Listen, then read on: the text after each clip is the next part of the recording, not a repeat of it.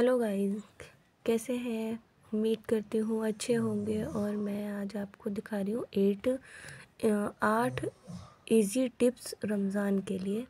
पहले तो मैंने ये शॉपिंग करी थी मेरी रमज़ान के लिए ताकि मुझे हर काम इजी हो जाए और जल्दी हो जाए। ये मैंने लिया था नाइफ़ रखने के लिए। ये देखो कितना प्यारा था। मतलब इतना अच्छा था कि इसमें थ्री कंपार्टमेंट में हमने रख लेना था। बस नीचे पानी आ जाएगा अगर हम इसको रखते हैं और इसमें फिर ये फिक्स कर देना है। इसका ढक्कन है, मच्छर कॉकरेज कीड़े, मकोड़े कुछ भी नहीं लगने हैं इसमें। कुछ भी आसपास से मच्छर तक भी नहीं बैठना है। ये तो फिर मैंने लिया था चॉपिंग बोर्ड आपको दिखाया था शायद। ये लिए मैंने जिप लॉक बैग ये भी बहुत अच्छे होते हैं रमज़ानों में स्टॉक करके रखने के लिए सामान। और ये मैंने आ, खीरा छीलने के लिए लिया था खीरा वगैरह और आलू और ये लिए थे मैंने। पराठे वगैरह बनाने के लिए बहुत ज़रूरत थी और थोड़ी सी क्रॉकरी ली थी मैंने ये मेरे पास थी नहीं।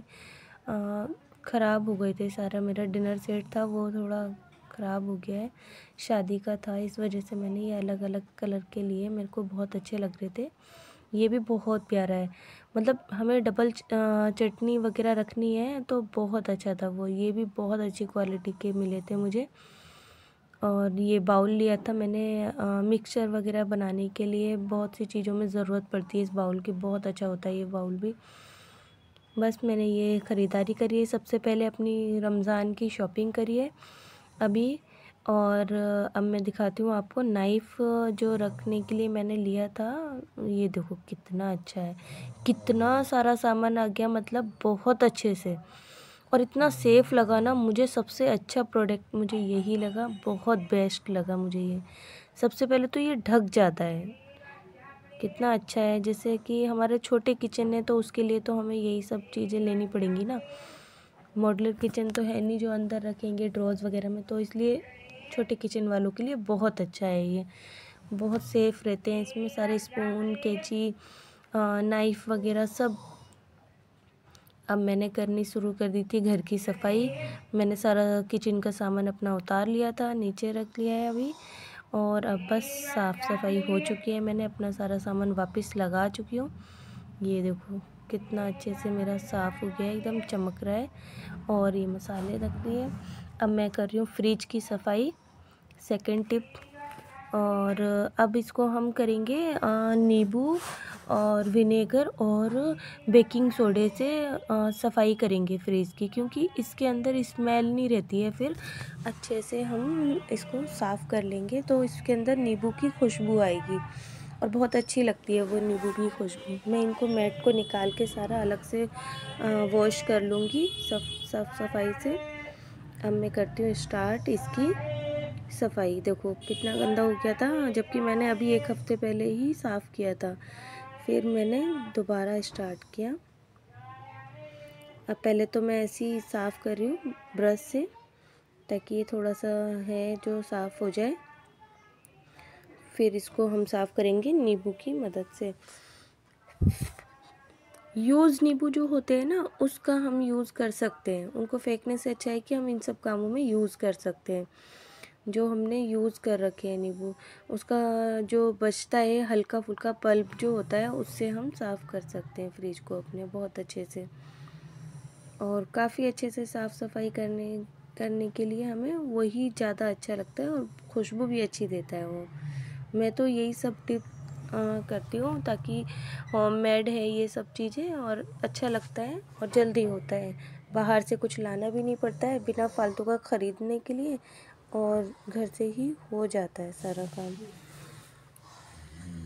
और अब देखो मैं आपको दिखाती हूँ मैं क्या क्या लिया मैंने। मैंने लिया है सबसे पहले बेकिंग सोडा और अब मैं लूँगी इसके अंदर नींबू और लूँगी वैसे मेरे पास मैंने यूज़ किया नहीं था नींबू इस वजह से मैंने लेने पड़ा और विनेगर लिया है मैंने ये।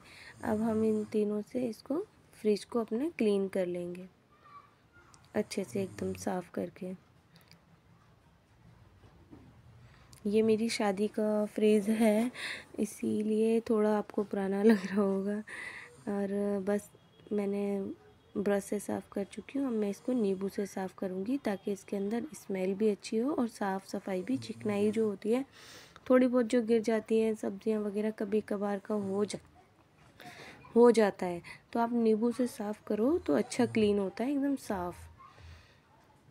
देखो कितने अच्छे से एकदम हमें रगड़ लेना है, बहुत अच्छे से इसको एकदम साफ़ करके, बहुत अच्छे से इसको घिसना है।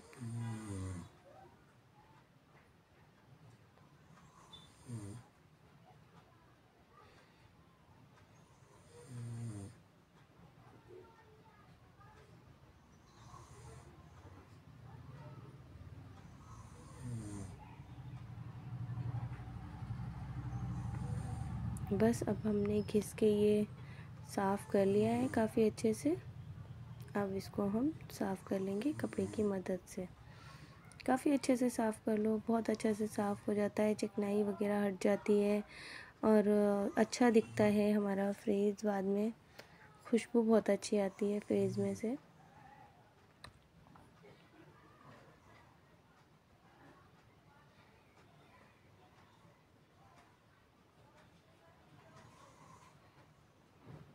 ये हो चुका है हमारा फ्रीज रेडी कितना अच्छा साफ़ हुआ था ना, आप खुद देख लो रिज़ल्ट आपके सामने है एकदम चमक गया था फ्रीज़ पूरे फ्रीज़ को मैंने अच्छे से साफ़ किया है, मेरा अच्छे से साफ़ हो चुका है. देखो, ये देखो मैट मैंने लिए थे मीशो से और इसके साथ मुझे फ्रीज़ का ऊपर से कवर भी आया था, वो भी मैं अभी आपको दिखाऊँगी. ये ऊपर दिख रहा है ना आपको, यही है.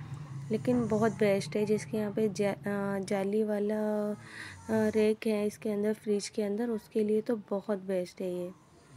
बहुत ही सुंदर लग रहा था बहुत ही खूबसूरत मेरा फ्रिज इसके बाद तो न्यू लगने लगा है।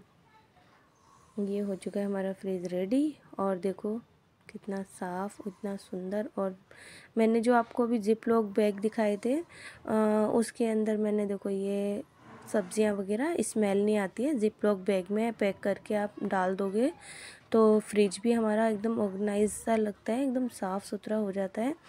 फैली हुई थैलियाँ नहीं दिखती हैं और एकदम साफ़। ये मैंने रख के लिए थे अपने कुछ सब्ज़ियाँ पड़ी थी फ्रिज में वो मैंने रख ली थी। हाँ, हाँ लहसुन था अदरक था धनिया तोड़ के पत्ते में रखती हूँ।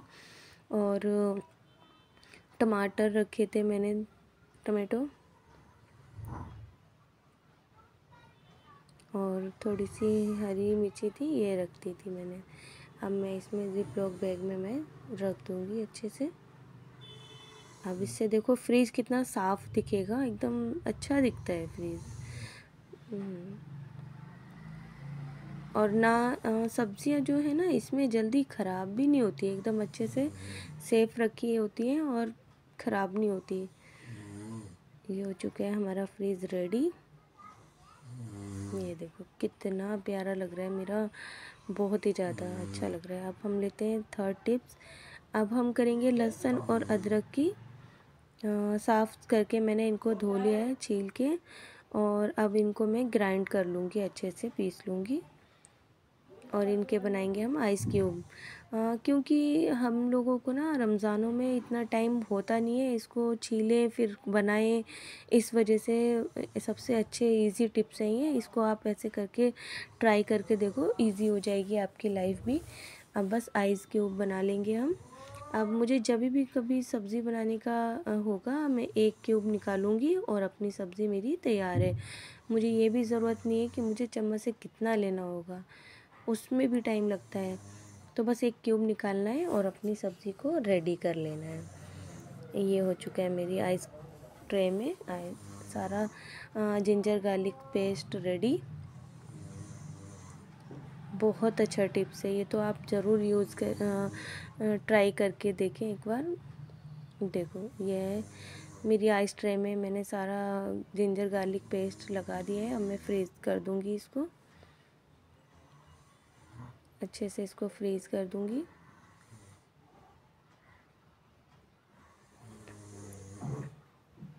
और इधर मैंने लिए हैं फोर्थ टिप्स है हमारा कि नींबू लिए हैं मैंने लेमन और लेमन जूस मैं निकाल के उसको भी मैं आइस ट्रे में लगा दूँगी, ताकि टाइम वेस्ट नहीं होता है रमज़ानों में।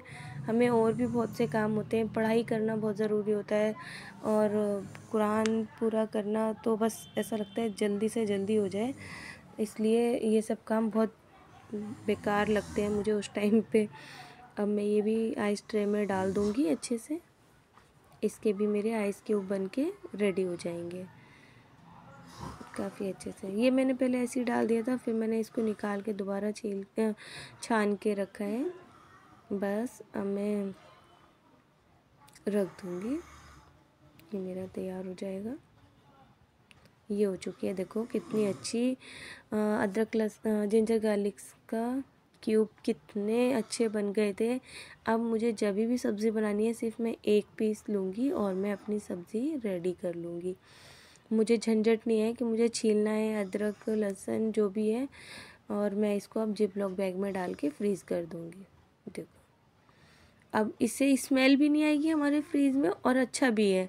और इतने अच्छे से हो जाता है रेडी ये बहुत। ये मेरा जो लेमन वाटर जो मैंने निकाला था लेमन जूस वो भी मैं फ्रीज़ कर दूँगी। आइस क्यूब निकाल के उसका भी लेमन क्यूब निकाली मैंने और जिप लॉक बैग में रख दिया अब हमारा फिफ्थ टिप्स है ये मैं होममेड मसाला घर पे बना के अपना रखती हूँ होम में।